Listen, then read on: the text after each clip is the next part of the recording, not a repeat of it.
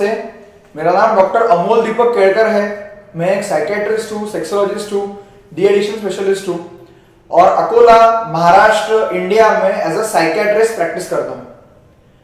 आजकल, आज जो मैं आपके सामने टॉपिक लेके आने वाला हूँ, वो है सेक्सुअल ओसीडी मतलब सेक्सुअल ऑब्सेसिव कंपल्सिव डिसऑर्डर आजकल जब मैं प्रैक्टिस कर रहा हूँ तो मैं ऐसे बहुत सारे पेशेंट देखता हूँ जिनको ये बीमारी है।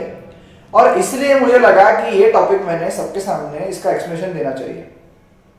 आजकल बहुत सारे ऐसे पेशेंट्स हैं जिनके दिमाग में कंटिन्यूस सेक्सुअल विचार आते रहते हैं। फॉर एग्ज़ाम्पल कोई ऐसे पेशेंट्स आते हैं जिनको लगता है कि मेरी नज़र कंटिन्यूसली फीमेल्स के ब्रेस्ट पर जा रही है।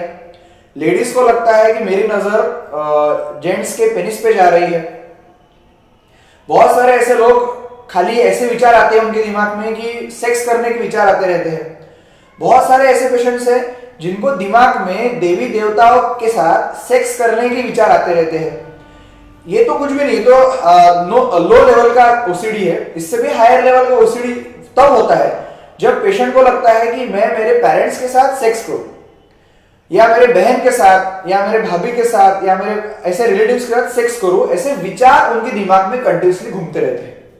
इसको हम बोलते हैं सेक्सुअल ओसीडी मतलब सेक्स के संबंध में जो भी ओसीडी है, उसको हम सेक्सुअल ओसीडी बोलते हैं। बहुत सारे लोगों को ऐसे भी विचार आते रहते हैं कि मैं मेरे जो इंटरनल ऑर्गन्स है जेनाइटेलिया है, उनके साथ खेलूं, उनके साथ खिलवाड़ करूँ, ऐसे भी विचार आते रहते हैं। तो जब ऐसे विचार पेशेंट्स को आते हैं तो पेशेंट का जो मनोबल है, जो कॉन्फिडेंस है, जो धैर्य है, वो पूरी तरह टूट जाता है। उनको लगता है कि मैं बहुत बड़ा पापी हूँ, मैं गिल्टी हूँ। क्योंकि स्पेशली मुस्लिम रिलीजन में ये जो फिनोमिनन है, जिसमें उनको भगवान के प्रति सेक्सुअल विचार आते हैं तो उनको लगता है, उनको ऐसा लगने लगता है कि मैं जीने के काबिल ही नहीं मुझे मर जाना चाहिए। लेकिन, और उसमें होता क्या है कि पेशेंट खुद को दोषी मानता है। उसको ये ध्यान में नहीं आता कि मैं, ये मुझे विचार क्यों आ रहे हैं। और अनफॉर्चुनेटली ये सेक्सुअल विचार होने के कारण वो किसी के साथ शेयर भी नहीं कर पाता, क्योंकि उसको इतना गिल्टी लगता है, और इतना गंदा फीलिंग उसको लगता है कि वो किसी के साथ शेयर भी नहीं कर पाता। अनफॉर्चुनेटली उनको ये पता नहीं है कि ये एक प्रकार की बीमारी है।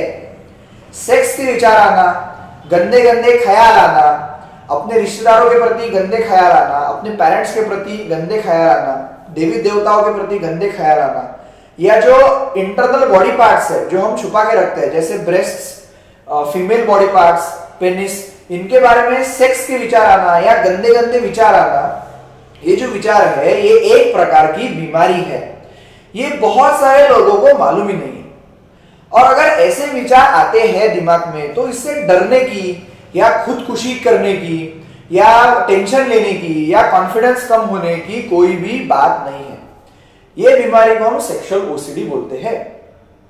ये बीमारी का इम्पैक्ट इतना ज़्यादा है कि लोग अंदर ही अंदर घुटते रहते हैं। इनको डिप्रेशन होने लगता है, इनको एंजाइटी होने लगती है। इनका जो परफॉर्मेंस है एकेडमिक फैमिली फाइनेंशियल ये परफॉर्मेंस पूरा डैमेज हो जाता है। और आदमी पूरी तरह से टूट चुका हो, होता है। हाल ही में एक बिजनेसमैन यंग ज्वेलर मेरे पास आया था और वो बोल रहा था कि मुझे कंटिन्यूसली मेरे माँ के प्रति और मेरे आंटी के प्रति सेक्स के विचार आते हैं। जब भी वो सामने आते हैं तो मुझे ऐसा लगता है कि मैं उनके साथ सेक्स कर रहा हूँ। ऐसा मेरा पिक्चर मेरे दिमाग में क्रिएट होने लगता है। और उसके कारण वो जो ज्वेलर है, वो इतना डिप्रेशन में चले गया।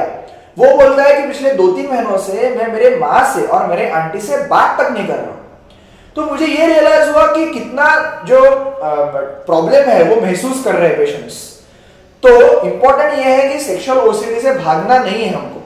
ये एक प्रकार की बीमारी है और इंपॉर्टेंट ये है कि ये बीमारी किसी को भी हो सकती है। मुझे, आपको किसी को भी ये बीमारी हो सकती है। इसमें सबसे इंपॉर्टेंट चीज़ है कि ये बीमारी एक्सेप्ट करना कि मुझे ये बीमारी है। और rather than running away from it rather than ये बीमारी से भागना, हमें ट्रीटमेंट लेने की सख्त आवश्यकता है। क्या इसकी ट्रीटमेंट अवेलेबल है? हाँ इसकी ट्रीटमेंट डेफिनेटली अवेलेबल है।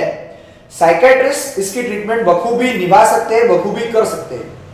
इसकी मेनली तीन प्रकार की ट्रीटमेंट है। एक मेडिसिन जो अलग अलग प्रकार की एंटी ओसीडी दवाइयाँ हमारे पास अवेलेबल है, वो दवाइयाँ लेके पेशेंट के जो दिमाग में जो ये विचार आते हैं पिक्चर आते हैं गंदे गंदे ख्याल आते हैं, ये पूरी तरह कम हो सकते हैं।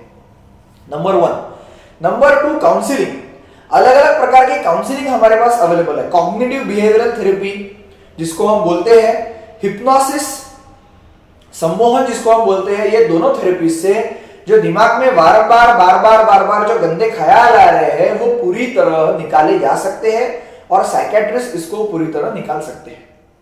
और जो थर्ड प्रकार की ट्रीटमेंट है, वो है एडमिट होना और उसके ऊपर इलेक्ट्रोकन्वर्सिव थेरेपी मतलब ईसीटी e लेना ऐसे अलग अलग अलग अलग प्रकार की सेक्सुअल ओसीडी की जो बीमारी है, इस पर ट्रीटमेंट अवेलेबल है। इंपॉर्टेंट यह है कि आपने आपके डॉक्टर के पास जाना चाहिए, आपकी जो पूरी बात है, वो एक्सप्रेस करनी चाहिए।